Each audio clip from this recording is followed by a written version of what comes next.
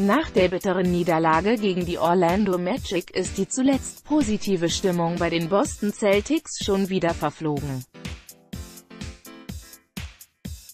Kyrie Irving prangerte im Anschluss an die zweite Pleite in Serie vor allem die fehlende Erfahrung seines Teams an. Die jungen Spieler wissen nicht, was es braucht, um ein Championship-Team zu sein, sagte der Point Guard vor Journalisten nach der 103 zu 105 Niederlage. Wenn Sie denken, dass es jetzt schon hart ist, wie wird es für Sie sein, wenn wir versuchen in die Finals zu kommen? Die Inkonstanz macht den Kelten schon die komplette Spielzeit 2018-19 über zu schaffen. Auch zuletzt gelang Boston vier Siege in Folge, bevor der Trend mit Niederlagen in Miami und in Orlando relativ schnell wieder in die entgegengesetzte Richtung zeigte.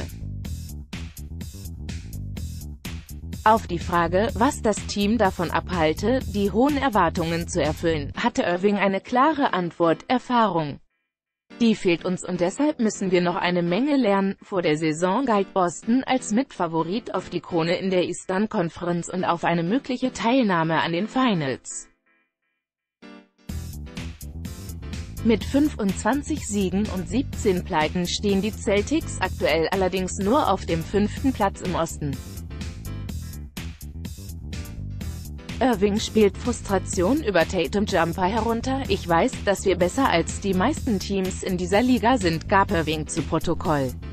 Es geht nur darum, rauszugehen und es jeden einzelnen Abend zu beweisen. Wenn wir das machen und realisieren, dass unsere Tiefe etwas Positives ist, werden wir besser sein. Aber bis es soweit ist, werden wir weiterhin diese Aufs und Abis haben, erklärte der 26-Jährige. Auch gegen Orlando war durchaus ein Sieg möglich gewesen, doch der Jumper zum möglichen Ausgleich von Jason Tatum in den Schlusssekunden ging daneben.